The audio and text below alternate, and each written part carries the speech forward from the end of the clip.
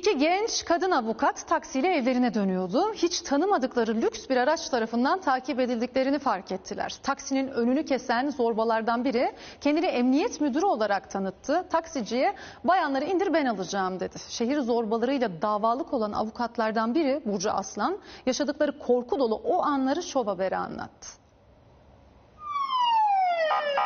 Ben Emniyet Genel Müdürlüğü'ndeyim. İstihbarattanım. Kızları indir ben alacağım. Hiçbir anlam veremediler, neye uğradıklarını şaşırdılar. Dur işareti, kenara çek işareti yapıyor. Tabii biz e, şok geçirdik. Burcu Hanım ve arkadaşı kütüphaneden çıkmış, taksiye binmiş, taksiyle evlerine doğru yola çıkmışlardı. Son model lüks araç bizim önümüzü kesti. Zorbalar taksiyi ve genç kadınları takibe aldı, kovalamaca uzun süre devam etti. Bu şahısları daha öncesinde hiç görmedim. Nasıl e, böyle bir olay başımıza geldi hala da inanamıyoruz. Gece saat 12 sularında meydana geldi olay. Dehşete düşüren takip sürerken ne yapacağını şaşıran avukat Burcu Aslan, taksiciye polis bir tanıdığının evini tarif etti. Taksici evin önünde durdu. Evim çıkmaz bir sokakta. O sokağa girersem başıma ne geleceğini, bunların kim olduğunu bilmiyorum. Lüks araçlarından inen zorbalar taksinin yanına geldi ve taksicinin camını tıklatarak camı açmasını istedi. Ne oldu?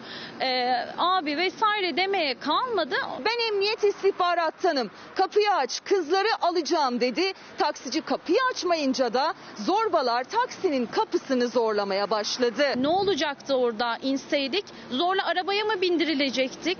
Ee, başka bir şey mi olacaktı? O anlar çevredeki bir iş yerinin güvenlik kamerasına böyle yansıdı.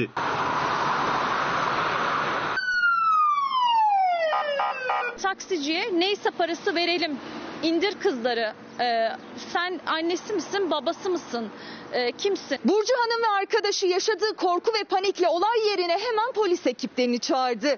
Zanlıların biz 3 milyonluk araca biniyoruz, vergilerimizi veriyoruz, bizden zarar gelmez ifadeleri ise bu kadar da olmaz dedirtti. Alkol muayenesine gittiler sonrasında. Çok yüksek miktarda e, alkol çıktı. Şüpheliler ifadelerinde taksici aracı tehlikeli kullanıyordu, uyarmak istedik dese de haklarında cinsel taciz, seyahat özgürlüğünü engelleme ve kişiyi hürriyetinden yoksun kılma suçlarından dava açıldı. Ayın e, ikisinde de 9.35'te duruşmamız var. Bizim olayımız evet ses getirsin istedim. Kendilerinden bahsedildiğinde televizyonda gördüklerinde tekrardan utansınlar istiyorum açıkçası.